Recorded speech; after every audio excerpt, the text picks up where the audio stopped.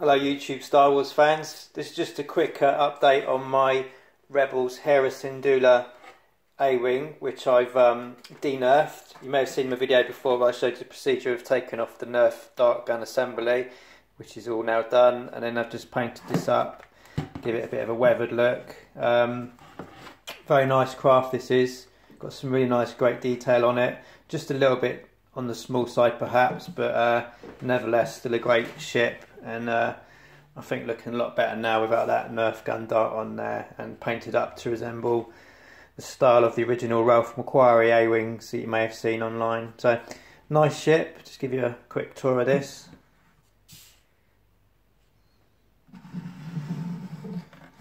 Got some very nice detail on there.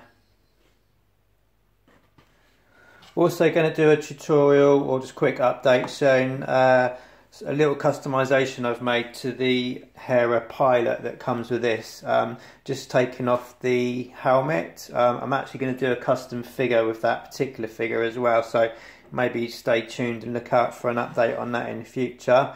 And also stay tuned to see my Rebels Ghost Ship, which I've uh, made for 3.75 inch figures so stay tuned for that as well but yeah I hope you like this video and thanks for watching